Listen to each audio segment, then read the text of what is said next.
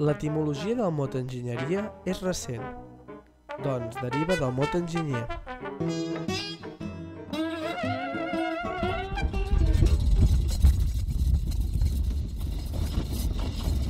Aquest data de 1325, de l'idioma anglès. Engineer es refereix de forma literal al que opera un engine, és a dir, un motor o màquina.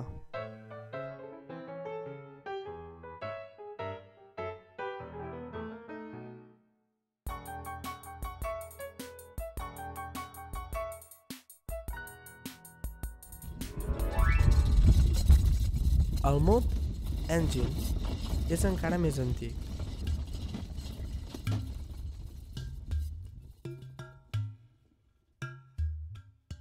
Doncs deriva del terme llatí ingenium, en català enginy. El mot va evolucionar més endavant per incloure totes les àrees en les quals s'hi utilitzaven tècniques per aplicar el mètode científic. Observar, formular hipòtesis, investigar, teoria científica. Actualment, l'enginyeria no només estudia les màquines. Per això, he arribat a la conclusió que amb enginy podràs triar la teva.